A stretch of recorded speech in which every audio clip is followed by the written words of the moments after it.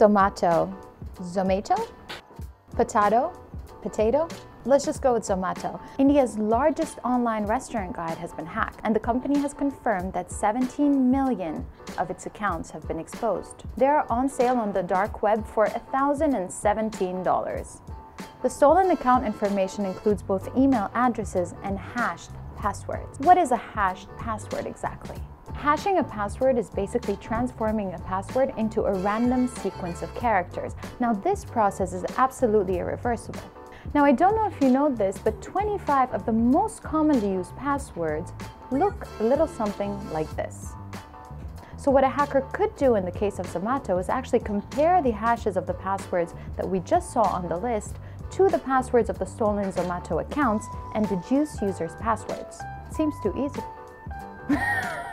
and the problem is, it seems like Zomato is actually downplaying the situation and saying that just because it's hashed, it means that it's, you know, absolutely difficult to crack. But I mean, these days, hackers are using more sophisticated methods like cloud computing, which allows them to crack a 15 to 18 character password within a few hours. So basically, there is no guarantee that your passwords will not eventually be cracked. Zomato stressed that the breach did not compromise any payment details of users, as the financial information is stored on a different database and was not hacked. Well, that's good. So if you have an account on Zomato, I highly recommend that you change your password immediately. So we can't put the entire blame on Zomato because as users, we have the responsibility to be creating complex alphanumeric combinations for passwords and changing them regularly. But that's a difficult task to do. So one way would be to actually resort to a password manager, like enter shameless plug, Myki.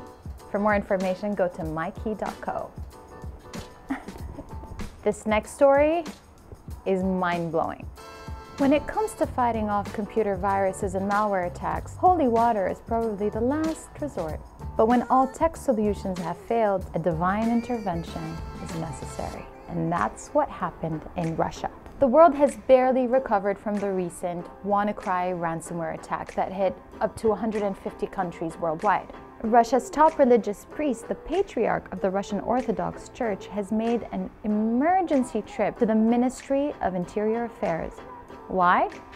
It's a good question. To bless the computers with holy water to keep the ransomware away.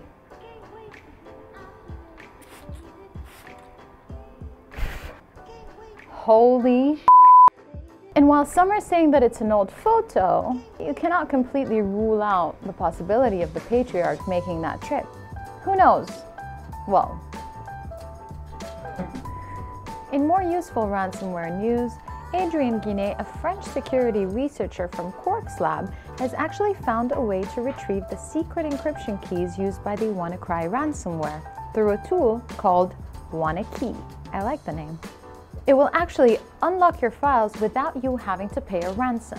Now, Guinet says that in order for this to work, your computer must not have been rebooted. He also claims that there's a lot of luck coming into play, so it doesn't always work in every single case. In more good news, another security researcher called Benjamin Delpy developed an easy-to-use tool which he named WannaKey We I love these names. WannaKiwi was created based on Guinet's findings and it actually simplifies the entire WannaCry infected file decryption.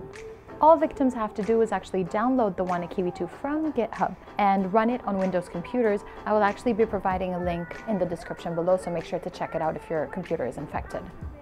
Would you rather unlock your smartphone with a four-digit PIN like 2476 or an emoji PIN like cat sunset, birthday cake, yellow heart, pig, penguin, omelette, beer. A team of researchers have actually developed something called Emoji Auth, which is an emoji-based authentication system that replaces passcodes. 53 participants on Android phones divided them into two. The first group of 27 people selected passcodes made up of 12 emojis, and the second group stuck to simply PIN codes. Not so surprisingly, PIN users remembered their passwords slightly more often than emoji passcode users. So they found that an emoji sequence of six or more emojis was actually harder to steal than a numerical sequence. I think we should just stick to fingerprint authentication and we're good.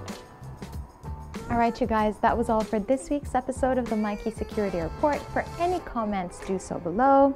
Make sure to subscribe, and I will see you soon.